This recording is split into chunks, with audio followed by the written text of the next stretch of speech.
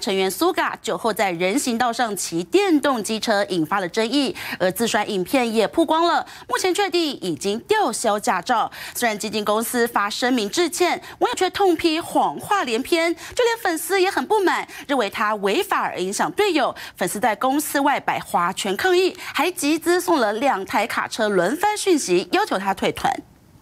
骑着电动机车，人行道上左滑右滑，最后摔倒在街上，安全帽也喷飞。随后被巡逻员警发现，十分钟后警车赶到现场，防弹少年团成员 Sugar 酒驾自摔画面曝光，他酒精浓度高达百分之零点二二七，驾照被吊销。虽然事后经纪公司发声明致歉并还原过程，表示骑的是电动滑板车，而且只骑了五百公尺，但仍浇不熄网友怒火。不止抓包五百公尺只是直线距离，自称只喝一杯也不可能醉成这样，怒批。只有酒驾是事实，整篇声明避重就轻。 SNS에는 슈가의 BTS 탈퇴를 요구하는 화환 수십 개가 하이브 사옥 앞에 놓인 사진들이 올라왔습니다. 粉丝近日纷纷到经纪公司楼下送抗议花圈，上面写着“退团吧”，还集资两台卡车送公司，轮播十二则讯息，包含罪犯就该退团，在变得更难看以前自行退出吧，无法容忍酒驾撒谎拖累队友。也有一派死忠粉丝认为酒驾处罚没怎样，纷纷护航， 甚至把边喝酒边开车的影片 PO 上网，还攻击报道这起事件的记者，害他的账号逼他道歉。